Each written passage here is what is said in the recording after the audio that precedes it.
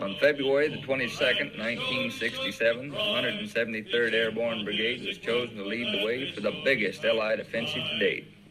The object of this offensive, known as Operation Junction City, was to locate and destroy the Central Office, Supreme Headquarters of the Viet Cong. This office was the foremost in production of psychological propaganda. In the semi-darkness of the tropic morning, the men assembled. Each had strapped himself into almost 100 pounds of gear. Main chutes, reserves, ammo, weapons, radios, grenades, claymore mines, and anti-tank rockets. These men were about to make the first U.S. combat jump of the Vietnam conflict. One by one, the jump master safety checked each man as he climbed aboard. The plane shuddered and throbbed and leaped off into the morning. As they approached the DZ, most of the men sat silently. One trooper began singing the paratrooper song, Gory, Gory, what a hell of a way to die. When no one else joined in, he too soon became silent.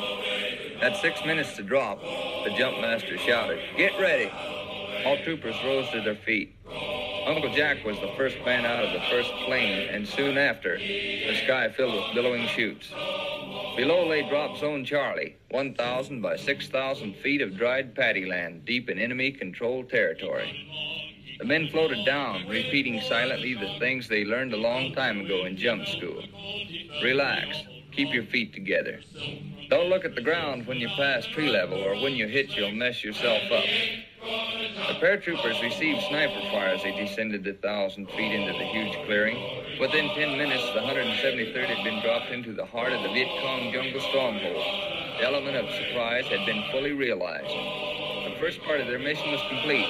With lightning speed, the airborne task force had jumped into combat, blocking the VC from the refuge of the Cambodian border. The job had just begun.